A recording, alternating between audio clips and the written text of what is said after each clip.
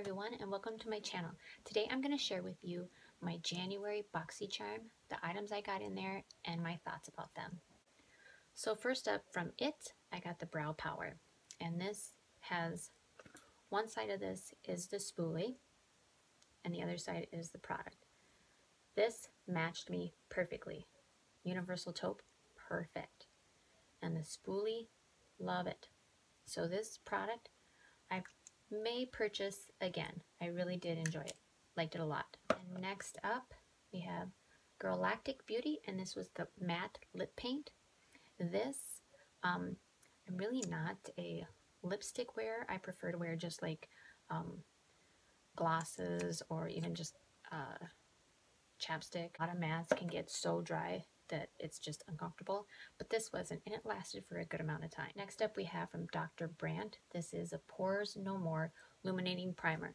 This, I did not notice anything that I would write home about. This was just, I mean, it's nice, but again, it's just not anything. I didn't notice it eliminating my pores. I didn't really notice much of anything, so yeah, this one could have did without.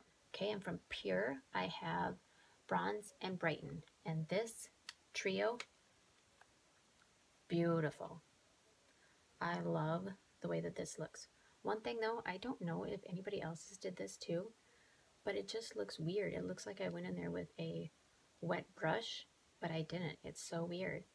This bronzer though, beautiful. Works great. I'm wearing it today. Highlight I'm wearing today and the blush. This kind of peachy color isn't quite for me. The last product is by Crown and it's Glam Metals. And this, I absolutely love the mirror. The mirror is adorable.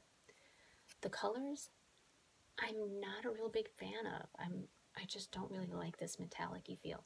I'm wearing this one right now and it's just not my favorite. I mean, it's okay, but I think I will pass this on to a sister-in-law. So that's my thoughts on the products that I got in January's BoxyCharm. Um, hope you guys enjoyed. Please leave any comments and suggestions below, and I'll see you in the next one.